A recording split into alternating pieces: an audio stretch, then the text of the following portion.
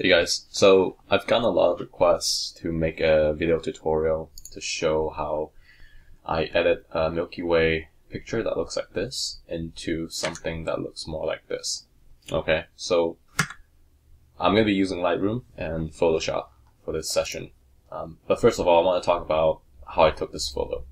Um, I took this with a Canon 60D and uh, I used a pretty entry level lens. I use the Canon 10mm to 18mm lens. As you can see, it doesn't really matter what camera you use, as long as it's a DSLR with a long exposure function and you have a, tr- steady tripod. Here I took this picture at 20 seconds, um, and uh, the ISO I used was about 3200. Um, I think this is a 10 millimeters at probably f 5.6 or f4. Um, but anyway, the point is, uh, if you have a camera that can expose for a long time, it can actually collect a lot of data. So there's a lot of data here that we can we can pick out, um, which would allow it to look like this. Okay, so to get started, um, I'm just gonna be looking at the standard um, adjustments on the right of Photoshop or Lightroom. Um, so first thing I want to do is I want to bring up a little bit of exposure to get more detail of the Milky Way. So I'm not going to go too crazy with it, but I'll bring up just a little bit. Um, the picture looks a little bit warm right now, so I'm gonna I'm gonna just make it a little cooler. And um, there's a lot of light pollution here, so I'm gonna turn the highlights down to see how much of that light pollution I can get rid of. Right, so it looks pretty good already. I'm able to get rid of a lot of it, but I still like the glow down here. Um, I really wanted to show you know, the contrast between the dark sky and the, the, light, the light pollution. So I'm going to turn down the highlights, but not too much. Um, so I want, at, at the end of the day, I want this Milky Way to pop. And to make things pop, you need a lot of contrast. Um, however, I don't think I need to go too crazy over the contrast, so I'm just going to bring up a little bit. Um, and with editing Milky Way photos, you really want to open up the whites um, because once you do that, the, the core really, really will stand out. So if you turn up the whites, you'll see that it, it comes out. Uh, it's pretty much alive now, right? But it's still very hazy. There's a lot of light pollution. Um, so there's a dehaze function that actually is very, very useful for editing Milky Way photos. I'm gonna crank up the dehaze to get rid of that. As you can see, how much of that haze I was able to get rid of, right? If I crank it all the way to the right, it's a little too much. So maybe, you know, about 70, 60. That looks, that looks really good.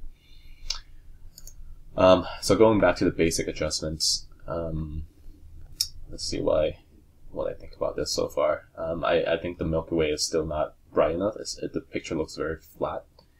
So I'm going to bring up a little bit of clarity uh, to make it pop more. Maybe a little too much there. Um, instead of using more contrast, I can adjust the whites and blacks as needed to make it contrasty. So I'm going to bring down the blacks a little bit. Uh, maybe up the whites a little more. So, you know, there we go. So it's actually looking pretty good already. Um, something about this composition bothers me a little bit, so I'm gonna I'm gonna just crop it a little bit. I'm gonna take away some of the foreground. Um, I actually like this tree a lot. Uh, so I want to look at this with kind of like a, a rule of thirds point of view, where the core of the Milky Way is centered over here, as opposed to having it centered in the middle, right? Um, so I'm going to bring up just a little bit more, uh, less foreground, but this way you have the Milky Way sort of, you, you see this um, frame with the tree leaves and the foreground of the Milky Way. So I, I like that a lot. And these uh, these streaks are actually from airplanes throughout the 20 seconds of exposure. So you can use this. Um, this is called spot removal if you want to get rid of it. Um, but I personally like it because it adds. I think it adds to the picture. But yeah, so you can get rid of it if you want to. Um, the next thing that I find really helpful with Milky Way photos is using the the curves adjustment layer. Um, so instead of just going to the curve and messing around with it, I like to use this knob here.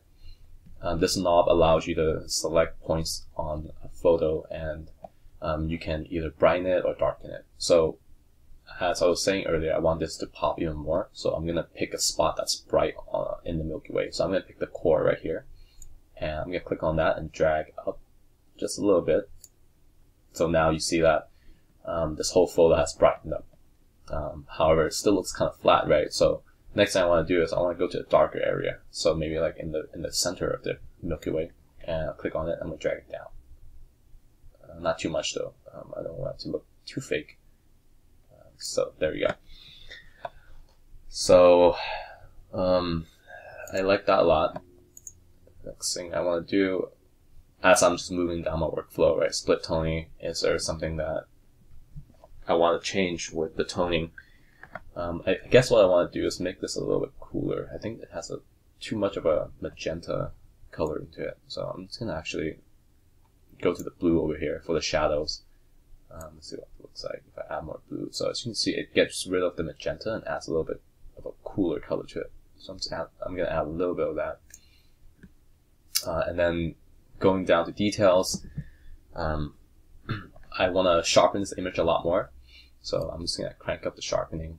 But as you can see, if I sharpen it too much, it becomes, it looks actually more grainy. So I'm just gonna sharpen it a little bit um, and then use the masking function to mask out areas that I don't want to sharpen.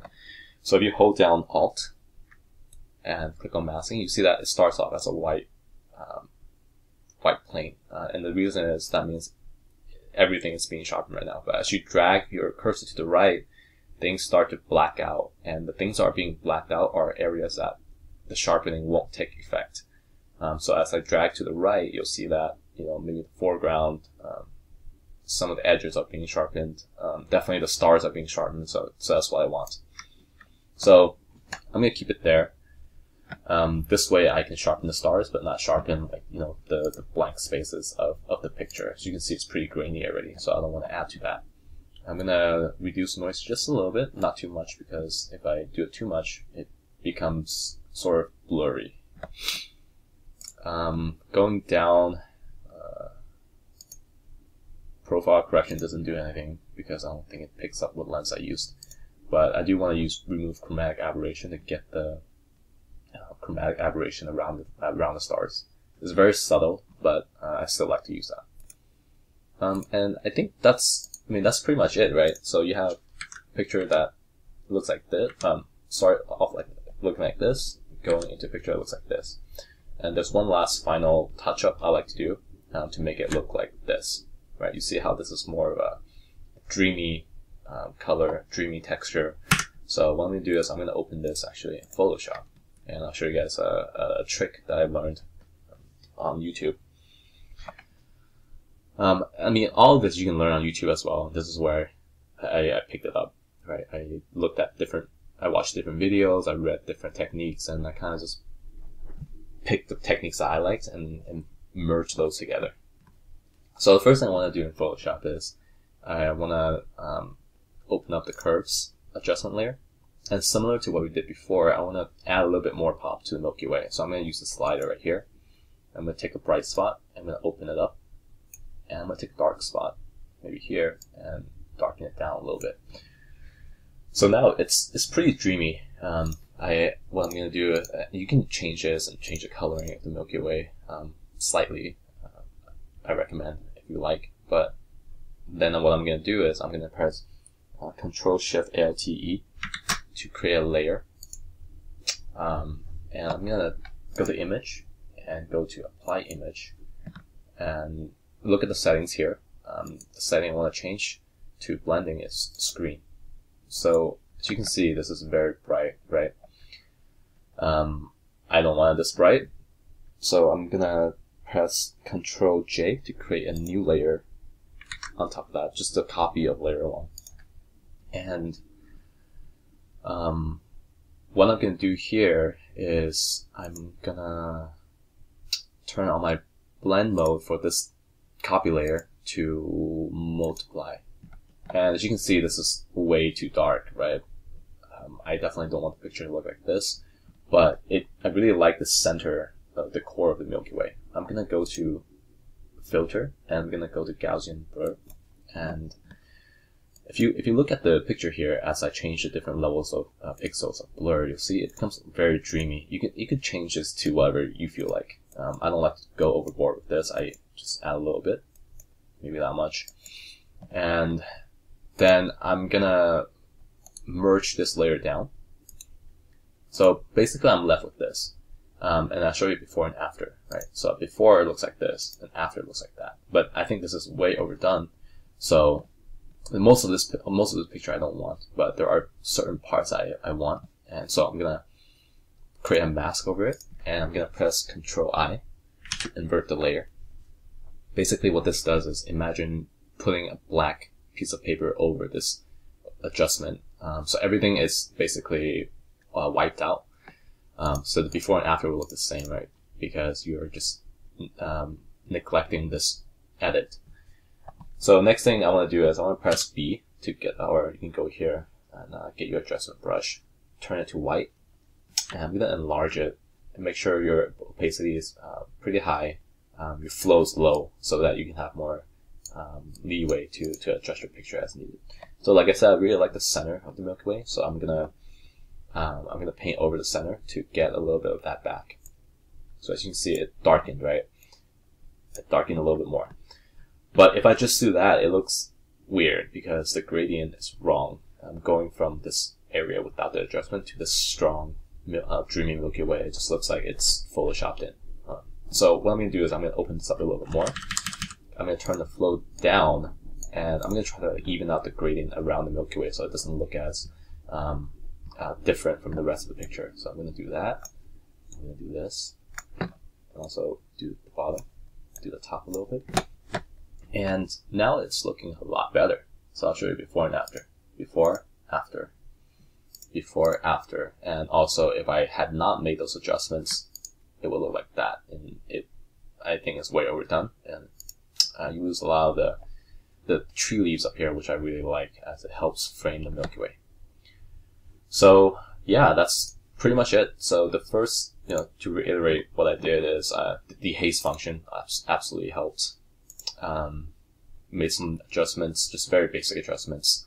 Um, the big one was the, the tone curve and um, going into Photoshop to add this Orton effect.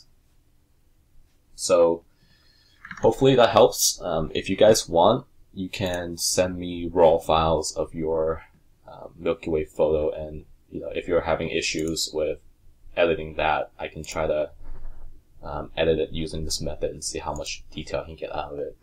All right, so thanks for watching.